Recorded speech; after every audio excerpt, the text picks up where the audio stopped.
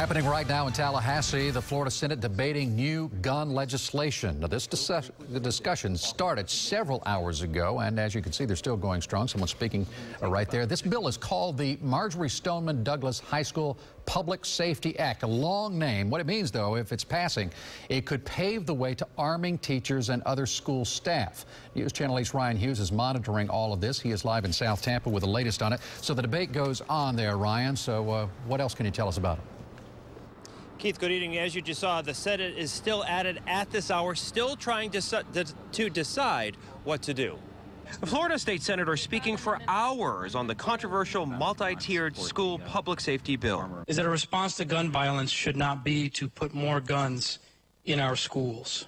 At center stage, a debate whether some teachers and school staff should carry guns.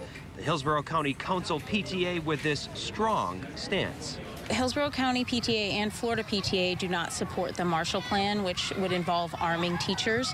The bill came to light following the school shooting in Parkland. It bans bump stocks, expands waiting periods, and raises the age to buy a gun in Florida to 21.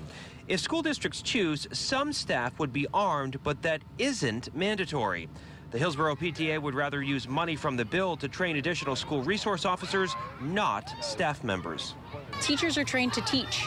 Um, police officers are, are trained to keep us safe. Polk County Sheriff Grady Judd doesn't understand the outcry.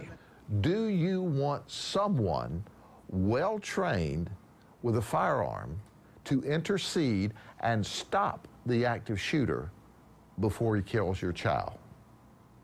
If your answer is yes, then the Marshals program has to stay in the Florida legislature. Volunteers would undergo drug screens, psychological evaluations, and 132 hours of firearms training.